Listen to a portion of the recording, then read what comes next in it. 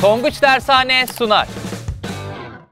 Herkese merhabalar. Veri analizi konumuzla beraberiz. Tonguç Evren benim çok güzel, çok önemli, çok da değerli bir konu. Hazır mısın dersimize? Hazırım hocam. Harikasın. Şimdi seninle beraber gerçekten de 5. sınıfta, 6. sınıfta, 7. sınıfta her sınıfta gördüğümüz ve şimdi de 8'de hatta ileride 9'da 10'da göreceğimiz çok önemli bir konuyla beraberiz. Gerçekten hayatımızın her yerinde bu. Özellikle hava durumlarında gösteriyorlar. İşte sallıyorum e, başka yerlerde böyle finansal tablolarda işte doların artışıdır, işte e, fiyatların azalışıdır gibi birçok yerde karşımıza böyle grafikler çıkıyor. Karşılaştın mı hiç hayatında? Televizyonda çıktı hocam. Aynı öyle bir sürü televizyon programı da çıkıyor doğru söylüyorsun.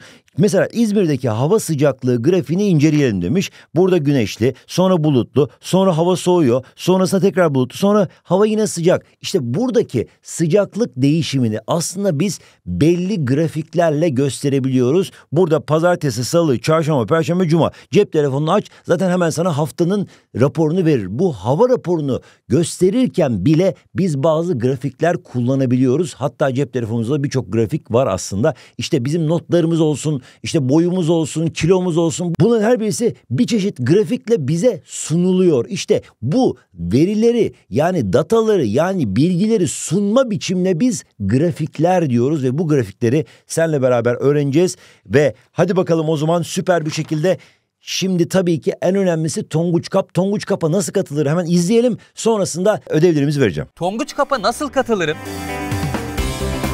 5, 6, 7 ve 8. sınıflara özel düzenlenen Tonguç Kap'a katılmak için öncelikle tonguçakademi.com'a üyeliğimizle giriş yapıyoruz ve sağ üstte bulunan Tonguç Kap sekmesine tıklıyoruz.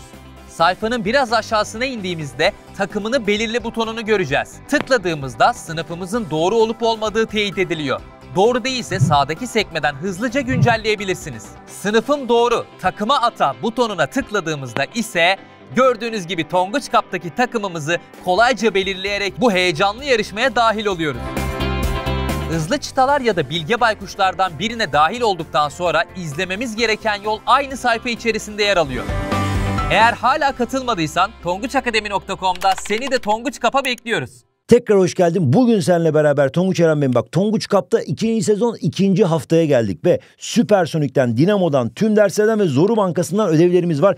Planlı ve programlı bir şekilde ilerliyoruz. Başaracağız eminiz çünkü planımız programımız hazır. Ve bunları uygularsak kesinlikle başarıya ulaşacağız. Hemen senin şu ödevleri yapmanı istiyorum. Süpersonik matematik kitabımızdan ki yeni çıktı. Gerçekten temel, orta ve yeni nesil olmak üzere 3 farklı test tipi var bunlarda ve çoğunluğu yeni nesil sorulardan oluşuyor ve süper bir şekilde seni sınava hazırlayacak. Hepsi video çözümlü. Hepsinde jet kavramlar var. Hepsinde konu akışı var. Özel videoları da var. Bu yepyeni kitabımız ve burada test 39, 40, 42, 43 ve 45'i yapmanı istiyorum. Tüm dersler Fijital soru bankamızda, Fijital kitabımızda yeni çıktı Tonguç Eren Bey'im. Burada yeni bir e, kitabımız ve burada da Tonguç Eren Bey'im senle beraber test 9'u, matematikteki test 9'u yapmanı istiyorum. Veri analizi konumuzla alakalı. Bu testi yaparsan da süper bir şekilde öğrendiğin konuyu test etmiş olacaksın ve tabii ki Dinamo kitabımızdan 23, 25 ve 26. testler ve Zoru Bankası kitabımızdan da 31, 32, 33, 34. testleri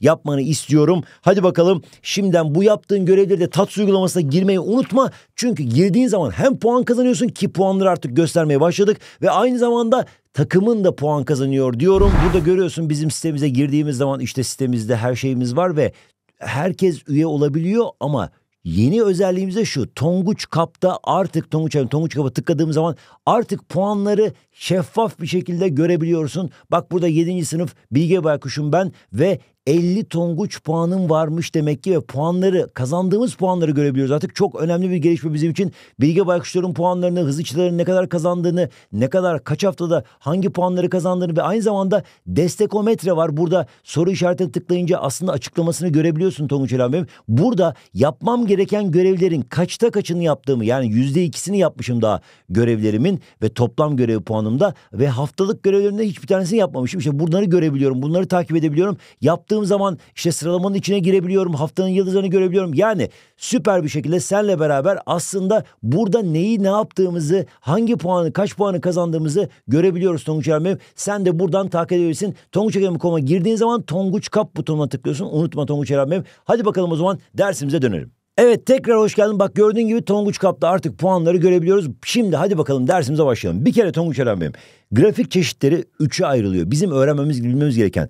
Birincisi sütun grafiği. Zaten eskiden beri öğrendiğimiz histogram diye de adı olan ama gerçekten de çok halk arasında da çok bilinen sütun grafikleri var. Aynı zamanda çizgi grafiğimiz var ve daire grafiğimiz var. Üç farklı çeşit grafiğimiz var ve grafikler arası dönüşüm de bizim ikinci öğreneceğimiz konu başı. Yani bizim öğrendiğimiz bu grafikleri birbirlerine dönüştürmeyi öğreneceğiz ve senle beraber aslında süper bir ders olacak. Çünkü günlük hayatımızda mesela Fener, Beşiktaş, Galatasaray takımlarının e, taraftar sayılarının karşılaştırılması mesela bunun gibi grafiklere bakacağız. Aynı zamanda işte hava durumunda sıcaklık ne oluyor, pazartesi ne oluyor, salı ne oluyor bunlara bakacağız beraber ve aynı zamanda işte bir e, sınıftaki erkek kız oranını mesela bir daire grafiğiyle göstermeye çalışacağız diyoruz ve hadi bakalım o zaman üç farklı çeşit grafiği inceleyelim. Bir kere Tonguç Eren benim üç farklı çeşit grafik dediğim şey aslında sütun grafiği vardı. Sütun grafiği farklı verileri karşılaştırmak için kullanılıyor. Bak bu çok önemli. Karşılaştırmak demek ne demek? Aslında hangisi daha büyük, hangisi daha küçük için kullanılan grafik çeşidi sütun grafiğidir. Bak burada mesela hangisi daha büyük? Mesela buna A yazsam, buna B yazsam, buna C yazsam hangisi daha büyük evladım? B hocam. Harika işte bu kadar. B olduğunu buradan B apartmanının daha büyük olduğunu görerek, daha uzun olduğunu görerek söyleyebiliyoruz ve sınav notlarını karşılaştırırken, şirketlerin kar miktarını karşılaştırırken bunları görebiliyoruz aslında. Peki ikinci grafiğimiz ise çizgi grafiği. Çizgi grafiği ise aslında artış ve azalışları, artış ve azalışları e, ve azalmaları da diyebilirsin. Azalışları gözlemek için, gözlemlemek için yani bulmak için yani daha net bir şekilde görebilmek için kullanılıyor. Mesela hava sıcaklığı. Hava sıcaklığı bugün ne oldu mesela bugün evladım hava sıcaklığı? Arttı hocam. Harikasın arttı. Peki neden arttı? Ne kadar arttı? Kaç derece arttı? İşte bunların her birisi aslında bu grafiği ilgilendiriyor. İşte hava güneşli olduğu için arttı ve benzeri. Bu hava sıcaklığının artışı, boy kütle değişimi. Mesela senin e, kütlen ne oldu evladım benim son iki ayda? Kilo verdim hocam. Harikasın maşallah. Niye? Nasıl kilo verdin evladım benim? Salata yedim hocam. Harikasın bak salata çok faydalı gerçekten de. Salata yemelisin bravo diyorum sana. Gerçekten de e, yeşil sebzelerde inanılmaz mineral ve vitamin var ve hem de zayıflatıyor. O yüzden çok da güzel bir besindir diyebiliriz. Peki dolayısıyla sıcaklık değişimini de aslında boy kütle değişimini de çizgi grafiğiyle gösterebiliyoruz. Bir de Tonguç Eren benim daire grafiği yani şurada gördüğümüz daire grafiği bir bütünün parçalarını parçalarını e, işte sallıyorum bir e, sınıfta erkek ve kız iki farklı parça var ve bu parçaların oranlarını görebiliyoruz. Ve Burada mesela tarladaki ürünlerin dağılımını işte patates mi mesela burada mesela bak pamuk, mısır, biber farklı tür ürünler var ve bunların dağılımını görebiliyoruz. Mesela en küçüğü hangisi en az hangisi dediği zaman mısır diyebilirsin burada tak diye. Bunun açısının daha dar daha küçük olduğunu görerek söyleyebiliriz. Veya işte oy sayıları hangi parti ne kadar oy aldı genellikle daire grafiğiyle gösterilir Tonguç evladım benim ve hadi bakalım sütun grafiğiyle dersimize bir başlangıç yapalım. Bir kere burada mesela çok güzel bir sütun grafiği var. ikili sütun grafiği var. Biz bunlara iki bilgili, iki verili sütun grafiği diyoruz. Neden böyle? Çünkü biz zaten tek verilileri görmüştük. Yani şöyle bir grafik çiziyorduk. Şöyle birincisi, ikincisi, üçüncüsü diyelim. Mesela buna A, buna B, buna C dediğim zaman mesela bu grafikte en yüksek apartman hangisi ise ki ben bunları apartman olarak görüyorum.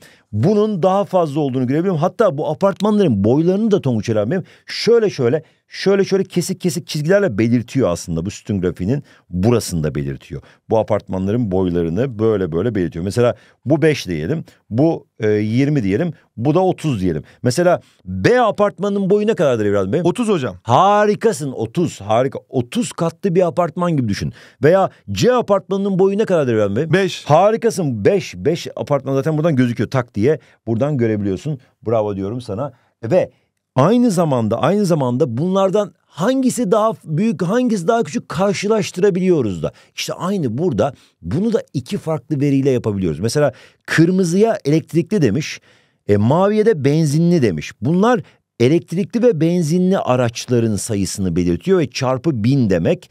Mesela burada 25 yazıyorsa bu aslında 25 bin adet demek. Bunu binle çarpıyorsun. Mesela burada 15 yazıyorsa 15 bin adet demek aslında bu. İşte bunların her birisine 2001 yılı, 2022 yılı ve 2023 yılı olmak üzere yıllara göre araç satışları sayıları grafiğini vermiş bize. Şimdi bakıyorum diyorum ki ya kardeşim bu tarz grafiklerde aslında burada mesela 2021 yılına sadece bakacak olursan mavinin pembeden daha büyük olduğunu görüyorsun. Mavi neydi bakıyoruz benzinli araçlar.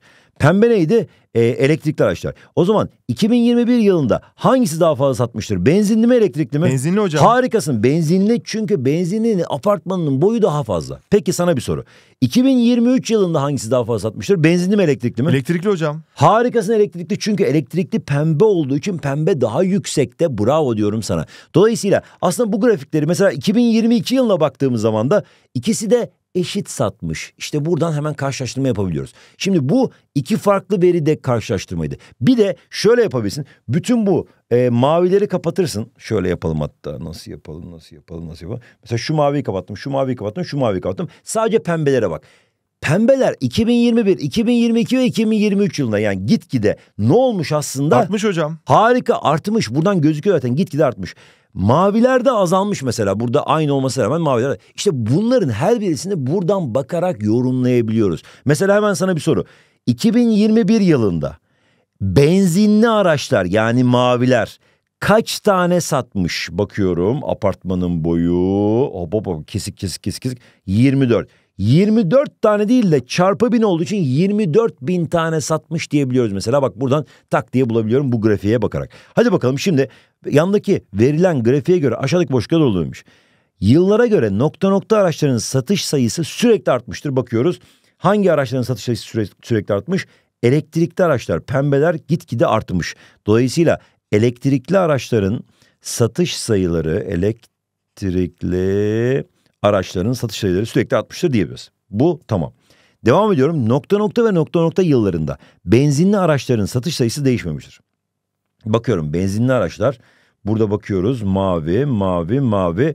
Burada fazla 24 bin. Burada 20 bine denk geliyor. Burada da 20 bin. Dolayısıyla bu iki yılda değişmemiş aynı kalmış. İkisinde de 20 bin satmış. O zaman 2022 ve 2023 yıllarında benzinli araçların satış sayısı değişmemiştir diyebiliriz. Yılda ortalama nokta nokta adet elektrikli araç satılmıştır demiş. Bakıyorum e, yılda nokta ha, ortalama demiş. Mesela sana bir soru.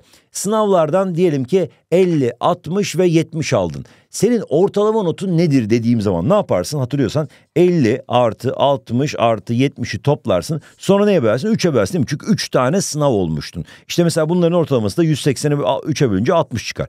Burada da aynı şeyi istiyor senden aslında. Yılda ortalama ne kadar satmış diye sor elektrikli araçlar. Bakıyoruz 2021'de elektrikli araçlar ne kadar satmış? 15 hocam. Harika ama dikkat et 15 değil. 15 değil evladım 15 bin diyoruz. Hemen yazıyorum 15 bin. Artı 2022 yılında kaç tane satmış bakıyorum. 20 bin. Artı 2023 yılında bakıyorum bayağı yüksek bir apartman 25 bin. Ve bunları topladığım zaman topluyorum. Bu ikisini toplasak 40 bin. E, e, 20 bin daha 60 bin. Bir de 3'e bölmem gerekiyor. Çünkü 3 tane yıl var. 60 bini 3'e böldüğüm zaman ortalama 20 bin satmış diye söyleyebilirim diyoruz. İşte bütün bu grafiklere, bütün bu grafiğe bakarak bütün bu soruların cevaplarını oluşturabiliyoruz. Şimdi geldik çizgi grafiğine. Çizgi grafiğinde de aynı şekilde burada iki tane farklı veri grubunu verdim. Belkıs mavi ile gösterilmiş. E, Avuzittin de kırmızıyla gösterilmiş. Zaten bu çizgiler bak kırmızıyı takip edebiliyorsun. Belkıs'ı da takip ediyorsun. Maviyi de takip ediyorsun. Şimdi yanda İki arkadaşın aylara göre kütlelerindeki değişim gösterilmiştir demiş. Ha kütlelerindeki yani kilolarındaki değişim aslında. Buna göre e, aşağıdakilerden hangileri doğru demiş. Bakalım Abuzütne Belkıs'ın aylara göre kütleleri. Şimdi bir kere burada Belkıs'ın kütlesi ilk başta birinci ayda 60'mış. Buradan gözüküyor zaten. Ha bak bun, burada sütun yok, apartman yok. Neye bakacağız? Burada çizgi grafiğinde noktalara bakılır. Noktalara bakılır. Bak deminkin de çok önemli bak burada noktalara bakılır. Burada ise burada ise neye bakıyorduk? Apartmanın tepesine bakıyorduk. Burada apartmanın apartmanın e, e, tepesine bakıyorduk aslında. tepesine bakılır diyorum. Bu çok önemli bir laf. Bu, bu laflar komik bir laflar gibi diyor ama bu soruyu çözdürüyor yani. Burada mesela noktalara bakalım. Nedir noktalar? Mesela birinci ayda, birinci ayda bu noktaya baktığımız zaman Belkıs 60 kilogrammış. Tamam. Sonra ne olmuş? İkinci ayda Belkıs buraya gelmiş. Yani 55'e düşmüş. Üçüncü ayda ne olmuş? Hop Belkıs 50'ye düşmüş. Dördüncü ay ne olmuş? Hop Belkıs 55'e çıkmış. Yani Belkıs azalmış azalmış azalmış sonra birazcık artmış. Ha. Bakalım e, şey ne yapmış? E, Abuzittin ne yapmış? Yani kırmızı ne yapmış? Abuzittin ilk başta artmış artmış artmış artmış. Sonra ne olmuş? Azalmış hocam. Harika azalmış gözüküyor zaten bak. Sonra üçüncü aydan sonra 3 ile dördüncü ay arasında azalmış. Şimdi bakalım iki arkadaşın kütleleri ikinci ayda değiş eşitlenmiştir. Bakıyorum gerçekten de bu iki çizgi grafiğinin kesiştiği bir yer var burası. Bu kütlelerinin eşitlendiği yani ikisinin de kütlesi ikinci ayda 55 kilograma denk gelmiş gördüğün gibi. Dolayısıyla ikinci ayda eşitlenmiştir doğru bir ifade. Devam ediyorum. Üçüncü ayda Belkıs Abuzittin'den 15 kilogram daha ağırdır. Bakalım hemen. Üçüncü ayda e, Belkıs yani mavi 50 kilogram. Üçüncü ayda Belkıs 50 kilogram. Peki kırmızı ne kadar? Şuraya hatta yazabilirim 50 kilogram diye. Burası 50. Bu kırmızı arkadaşımız 65 kilogram. Yani Abuzittin 65 kilogram. Kaç kilogram fark var aralarında? 15 kilo. Harikasın. İşte o zaman bu da doğru bir ifade diyebiliriz. İki arkadaşın başlangıç kütleleri arasındaki fark son kütleler arasındaki farktan daha fazla demiş. Bakalım hemen. Bir kere Belkıs el yani şey mavi olan birinci ayda 60. Ee, kırmızı olan e, Abuzittin yani birinci ayda 50 kilogrammış. Zaten böyle gözüküyor. Son durumda e, Abuzittin yani kırmızı buraya gelmiş. Yani 60'a gelmiş. E, son durumda mavi yani buradaki arkadaş 55'e gelmiş. Buradan gözüküyor 55'e gelmiş. Şimdi buradaki fark ne kadar dediğim zaman tak buradan 60 ile 50 arasındaki fark başlangıç kütle arasındaki fark 10 kilogram. Peki buradaki fark dediğim zaman burada 60 ile 55 arasındaki fark bu da son arasındaki fark 5 kilogram. Yani 10 kilogram 5 kilogram daha fazla diyor söylüyor bize. Evet bu da doğrudur şeklinde yorum yapabiliyoruz. Zaten artmayı azalmayı da buradan görebiliyoruz. Şimdi geldik Dinamo sayfa 60 soru 1. Hemen bakalım Dinamo kitabımızı açtık.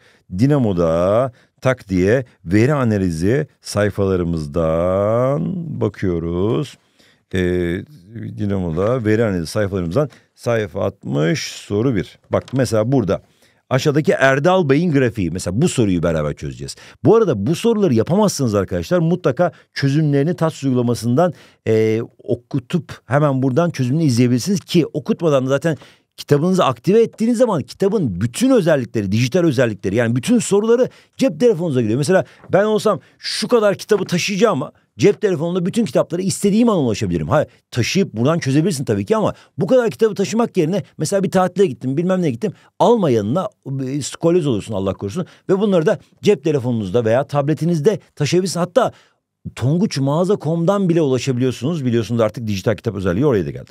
Şimdi çizgi grafiğinde Erdal Bey'in günlük kazancı ve günlük harcaması verilmiştir. Bakıyoruz. Ee, burada e, bak günlük kazanç kırmızıyla gösterilmiş. Günlük harcama da maviyle gösterilmiş. Mavi bizim için kötü bir şey. Ee, kazanç da güzel bir şey. Tamam bakıyorum. Erdal Bey'in başta hiç parası olmadığına göre Cuma gününün sonunda kaç TL parası olur? Şimdi bir kere Erdal kırmızı bizim için iyi bir şey. Ne kadar kazanmış? Noktalara bakalım. Noktaları teker teker bak irdeleyelim.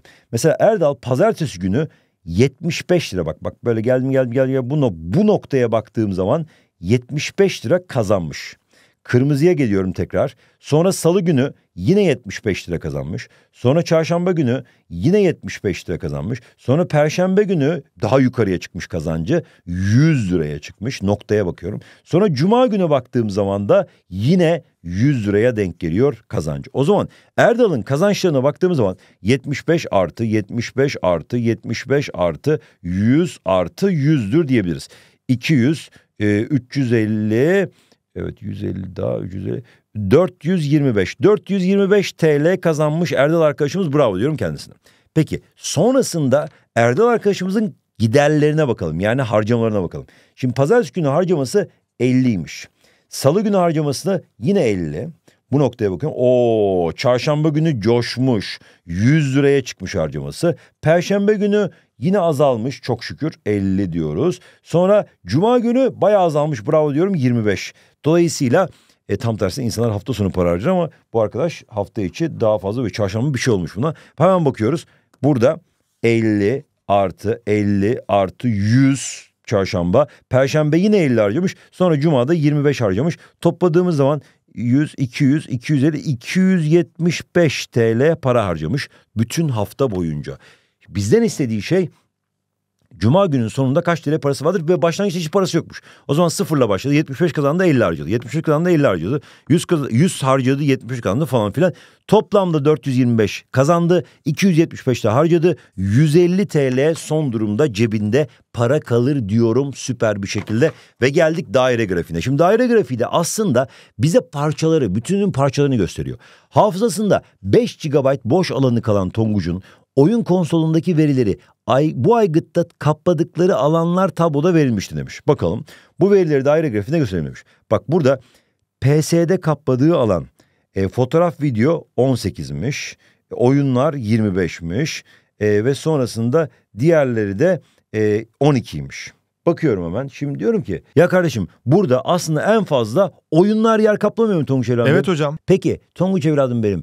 E, oyunlar bu kadar yer kaplıyor ve e, yerinde de 5 GB boş alanım var. Gel seninle beraber bunları bir grafik şeklinde göstereyim. Bir kere en fazla dilimi yani şöyle bir pasta çizdiğimiz zaman en fazla dilimi böyle bir şeyi oyunlar almak zorunda. Şimdi onları beraber e, yapmayı öğreneceğiz sana. Böyle basit bir yöntemi var merak etme. Şimdi fotoğraf, video, oyunlar, diğer ve bir de boş alan var. Boş alanda 5'miş. Şimdi bunların her birisi belli bir orana sahip ama öncelikle toplamı bulman gerekiyor. Yani toplamda ne kadar yani e, işte bir oyun konsolunda ne kadar yer var? Hemen bakalım beraber seninle beraber. Şimdi bak toplamda 18 bu ikisi 30 eder. E, 25 bu da 30 eder 60. Toplamda 60 GB yer varmış demek ki bu aslında PS'deki toplam alan yani oyun konsolundaki toplam alan. Şimdi bu toplam alanın 18'i fotoğrafmış, 25'i oyunmuş, e, 12'si diğermiş, 5'i de boşmuş. Bu 60 GB'ın. 5 GB'ı boş. Oyunlar 25, bayağı büyük. Peki bunlar hangi derecede açı? Şimdi ben böyle bir şey çizdiğim zaman şurada bir açı olması gerekiyor. Bu açıyı göstererek ben daire grafiğini çizerim. Bir kere en az boşta, en fazla oyunlarda. Ve bu açıyı çizerken de benim bir hesap yapmam gerekiyor. Bu hesabı yaparken de farklı yöntemler var. Burada da mantık şu aslında. Şimdi ben bu 60 GB toplam alanı bütün bu açı kadar yani bütün bunun çevresi şuradaki açı ne kadar biliyor musun? Bütün dairenin çevresindeki açı yani şuradaki toplam açı 360 derecedir Tonguç evladım benim. Benim yapmam gereken işte bu toplam gigabaytı 360 dereceye eşit demek. Yani 60 GB 360 dereceyle özdeşmiş. Bunu çok iyi aklıma tutacağım. O zaman yazıyorum. 60 aslında 360 dereceye denk gelirmiş bu derece. Peki Tonguç evladım 60-360 dereceye denk gelirse acaba 5 kaç dereceye denk gelir? Hemen seninle beraber yapalım. Bak 5 kaç dereceye denk gelir? Buradaki mantık şu. 60'tan 360'a gitmek için kaçla çarparsın? Çok basit bak. Kaçla çarparsın? Bu kadar basit bir soru.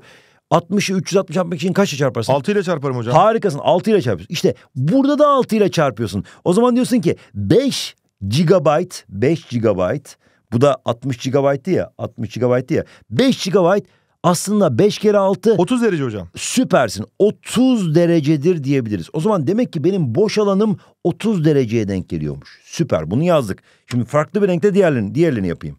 Burada da diyelim ki e, işte 25 oyunlara bakalım. 25 GB peki o zaman nedir? Yine aynı şeyi yapmam gerekiyor. Yine 6 ile çarpmam gerekiyor. 6 ile çarptığım zaman bunu 25 kere 6 150 oluyor aslında 150 derece oluyor. O zaman burası da 150 derece diyebiliriz. Peki geldik sonrasında işte farklı bir 5 GB 6 ile çarpmıştık. Peki 18 fotoğraf videoya bakalım. Onu da farklı bir renkte yapalım seninle beraber. 18 GB yani fotoğraf video. Ne yapmam gerekiyor? Yine 6 ile çarpmam gerekiyor. 60, 6 kez 8, 48, 108 derece oluyor mesela fotoğraf video. Hemen bunu da 108 derece olduğunu yazdım. Ve son durumda istersen bunu hesaplamak zorunda değilsin. Ama 6 ile çarptığımız zaman 72 derece oluyor. Bunu da hemen yazayım. Ve istersen de bu üçünü toplayıp Sonra 360'tan çıkartıp 70 dereceyi bulabilirsin. Bütün açıları bulduk. Açıları buraya yerleştirmemiz gerekiyor. En büyük açı hangisi? Oyunlar hocam. Harikasın. Oyunlar. Zaten oyunların en fazla olduğunu görmüştük. O zaman diyorum ki hemen çizelim seninle beraber. Bir noktasını gösteriyorum. Sonra 150 derecelik açı bak. Tonguç Eren şöyle bir şey var. Burası 360 ise hepsi. Burası şurası 180 derecedir. 150 de 180'den küçük olduğu için şöyle bir şey çiziyorum. Hop. Hop. Burası 150 derecedir diyorum. Şimdi 150 dereceyi ne, ne diye göstereceğim? Oyunlar diye göstereceğim. Bu turuncuyla gösterdiğim yer olsun. Şurası olsun. Oyunlar yazabilirim içine. Oyunlar. Bak böyle gösteriyoruz teker teker.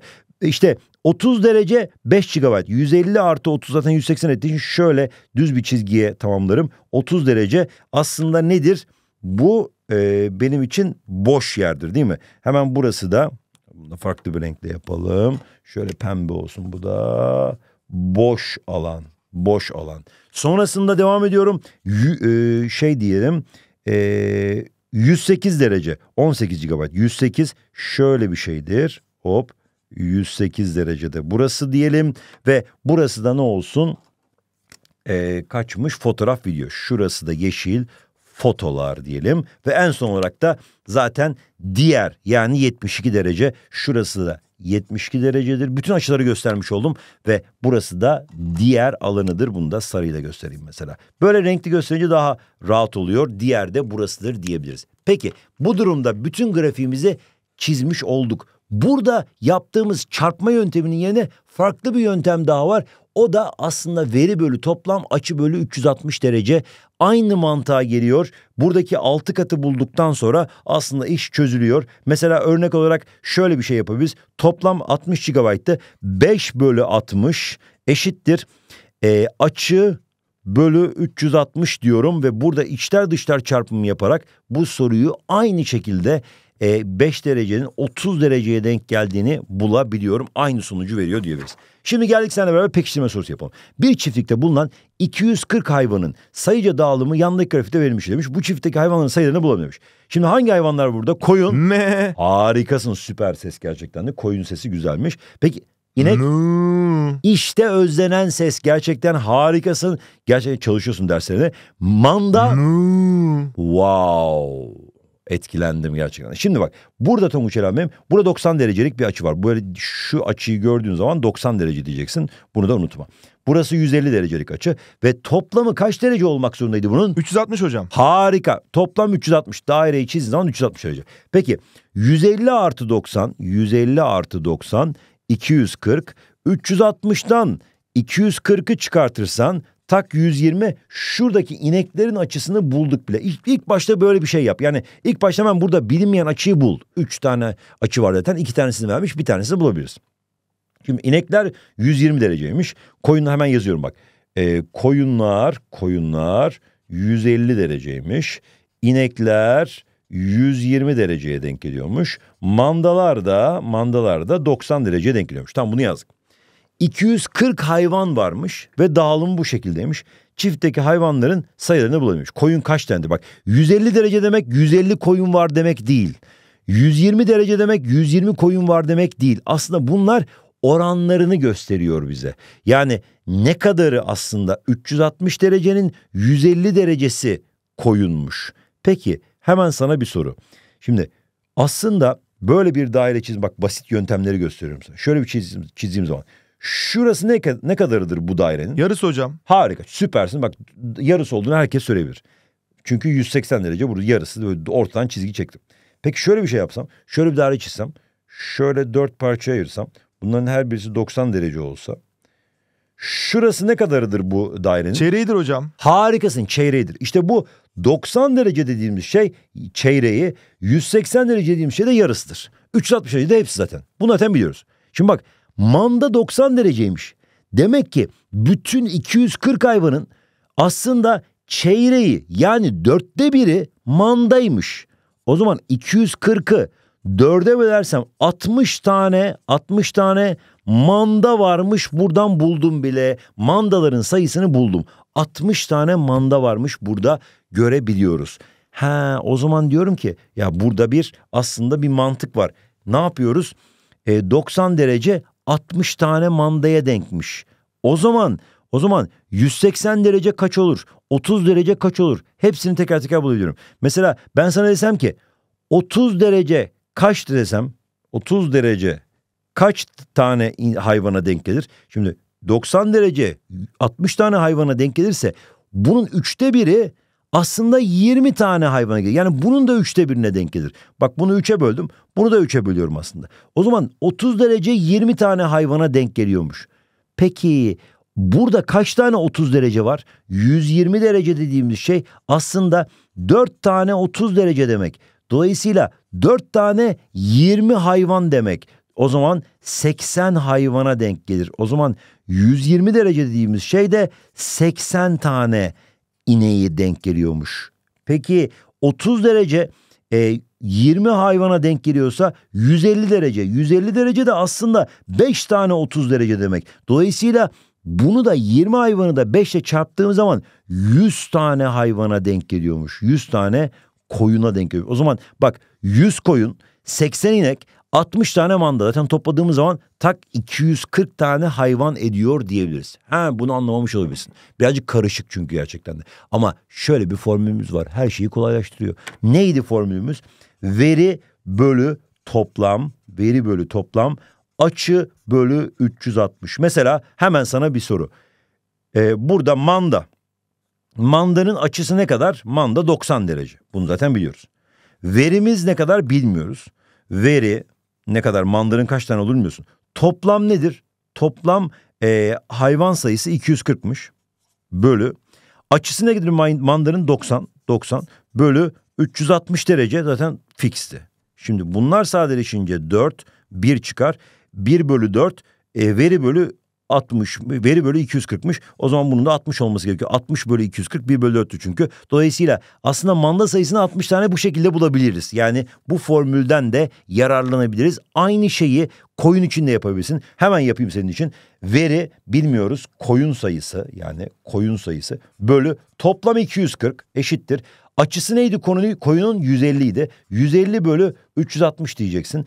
Bunları sadeleştirdiğin zaman, bunları sadeleştirdiğin zaman işte e, 3 ile e, sadeleştirdiğin zaman 5 bölü 12 eder. İçler dışlar çarpımı yaptığın zaman koyun sayısının 100 tane olduğunu aynı şekilde bulabileceksin diyoruz ve bu şekilde de aslında bu yöntemle veya bu yöntemle, bu formülle veya orantı yöntemiyle her türlü yapabilirsin sorularımızı. Şimdi geldik yeni nesil bir soruya. 2023 LGS'de çıkmış bir soru benzeri bu. Seni birazcık daha yaklaştıralım böyle çözmeye çalışalım. Telefon ve akıllı saat alan Tonguç'un bu ürünler için ödeyeceği toplam tutarlar birinci grafikte. Akıllı saat için ödeyeceği toplam tutarın taksitleri ikinci grafikte verilmişti. Ha. Telef akıllı saati demek ki taksitle almış. Telefon da buradaymış tamam. Tonguç'un akıllı saat için ödediği ikinci taksit 450 TL olduğuna göre telefonun fiyatı kaç TL'dir? Wow soru güzel. Şimdi bir kere burada şöyle bir şey var. Bu grafik akıllı saat için ödediği para ve telefon için ödediği para. Hangisi daha fazla? Telefon daha fazla. Harika. Telefon için ödediği para daha fazla zaten gözüküyor. Eşek kadar dilim. Akıllı saatte bu dörtte biri çeyreği unutma. Yani akıllı saat aslında telefonun dört telefonun e, daha fazla telefonun daha ucuzu daha ucuzu ne kadar ucuz olduğunu birazdan anlatacağım. Şimdi akıllı saatin açısı 90 derece. Telefonun açısı kaç derece hemen göstermek istiyorum sana. Şimdi toplam açı kaç derece? 360 derece. 360'tan 90 çıkarsa 270 derece oluyor. O zaman demek ki telefon da 270 derece. O zaman bu bunun kaç kaç katı? Telefon akıllı saatin kaç katı? 3 katı hocam. Harikasın. 3 katı. Demek ki telefonun fiyatı akıllı saatin 3 katı. Ya kardeşim bunun açı, bunlar açıyken nasıl fiyatı karşı? Çünkü zaten karşılaştırma ve paylarını göstermek için kullanılan grafikte. Buradan sen 270'in 90'ın 3 katı olduğunu görebiliyorsan fiyatları da 3 katıdır otomatikman. Bunu bileceğiz. Sonra burada ikinci taksit 450 liraymış. Şimdi kardeşim bu apartmana baktığım zaman 1, 2, 3 katlı bir apartman. Şurası 450'ymiş. 450 de, TL'ymiş.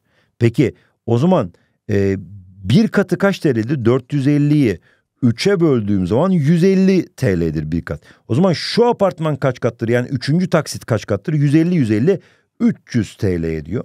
Peki bu apartman 1 2 3 4 katlı. 4 kere 150 600 TL ediyor. O zaman bu adam akıllı saate 1 2 3 taksitte toplamda 600 artı 450 ikinci taksitte artı 300 TL üçüncü taksitte olmak üzere 1050 1350 TL akıllı saate para vermiş bu arkadaş. Peki ne demiştik? Telefon akıllı saatin 3 katıydı açıları farklı olduğu için açıları 3 katı olduğu için. O zaman diyorum ki telefon eşittir 1350 TL yani akıllı saatin fiyatını 3 ile çarpmam gerekiyor. O da Tonguç evladım benim bakıyoruz 4050 TL oluyor bir telefonun fiyatı maşallahı varmış gerçekten. Tabii şu andaki fiyatlar çok çok daha fazla. Ee, senin telefonun e, Android mi şey mi yoksa iOS mu evladım benim? Android hocam. Harikasın. Android çok güzel. Gerçekten de her şeyi yapabiliyorsun içinde. Ee, süpersin diyoruz ve hadi bakalım örnek soru benzeri bir soru çözelim. Bu arada örnek sorular yayınlandı arkadaşlar. Gerçekten de LGS'ye giren arkadaşlarımız için çok önemli bir haber. Örnek sorular yayınlandı ve bu örnek sorular gerçekten de geçtiğimiz sınavdaki veya geçtiğimiz senelerdeki örnek sorulardan çok daha farklı, daha kolay geldi. Hepiniz rahat olun. İnşallah sınav çok iyi gelecek bu sene. Bir kuru ürünlerin kütlece dağılımı daire grafiğinde satış fiyatları ise tabloda verilmiş. Tamam. Grafik ürünlerin kütlece dağılımı bir kere fındık en fazla, kaju daha az en az, badem de ortalama. 60 120 ben bunu gördüğüm anda duramıyorum. 60 ile 120 toplasan ne eder? 180 hocam. Harikası 180. 360'dan 180'i çıkartırsan yüzde 180 çıkar. Demek ki fındıkta aslında bütün satılan ürünlerin yarısını oluşturuyormuş. Aman dikkat çünkü 180 derece yarısıdır. Tamam. Ve aynı zamanda çok dikkat et. Burada enteresan bir şey daha göstermek istiyorum sana. Badem 120, kaju 60 ya. Badem de kajunun iki katıymış. Bak böyle bir orantı da yakalayabiliriz hemen. Şimdi fındığın fiyatı 80 TL, kajunun fiyatı 120 TL, bademin fiyatı 100 TL'ymiş. Tamam. 6 kilogram bademi bulunan kuru yemişçi tüm ürünlerin satılsa kaç TL elde eder demiş. Gelir elde eder demiş. Bakalım. Şimdi 6 kilogram bademi bulunan. Şimdi bundan 6 kilogram varsa yani 120 derece 6 kilograma denk geliyorsa. Peki kaju neydi? Bunun yarısı demiştik. 120 60 derecede o zaman 3 kilograma denk gelir. Ha, bu hemen oranı kurdum hemen tak diye kafadan yorum yaptım. 120 60 dereceleri iki katı o zaman kilogramları da iki katı. Bir soru daha. Fındıkla kaju arasındaki ilişkine fındık mı daha fazla kaju mu? Fındık hocam. Harika fındık daha fazla duyurabiliyoruz zaten. Peki fındık kajunun kaç katı açı 3 olarak? katı hocam. Süpersin. O zaman kilogram olarak da 3 katıdır. Dolayısıyla 9 kilogramdır fındıkta diyoruz. O zaman kardeşim 9 kilogram fındıktan satarsak 9 kilogram. E, kajudan 3 kilogram satarsak elindeki bütün ürünleri satarsa diyor. Buradan da 100 bak buradan 100 TL'ymiş ve 6 kilogramımız varmış diyor buradan da. Satarsak 9 kere 8 720 TL buradan kazanırız. 120 kere 3 360 TL buradan kazanırız. 100 kere 6 600 TL buradan kazan en fazla kazandığımız da fındık oldu bu arada. Toplamda 1300 1600 1680 TL para kazanmış oluruz gelir olarak diyoruz. Örnek soru benzerini çözmüş olduk. O zaman şimdi sana düşen patatese meydan okumak. He, hemen tat uygulamasına gir Tonguç Eren benim. Tat uygulaması güncellendi biliyorsun ve içine Tonguç Kap butonu geldi. Tonguç Kap butonunun içerisinde e, meydan okuma var ve meydan okumanın içine girdiğin zaman 8 mat 13 veri analizi testimizi bul. Bu dersimizle alakalı öğrendiğin konuyla alakalı çok güzel bir test seni bekliyor. Bu testte yeni nesil sorular var. Hadi bakalım kendini challenge et bakalım ve ödüllü sorumuzu yap yorumlara yolla. Bir sonraki dersimizde görüşmek üzere. Tonguç Dershane sundu.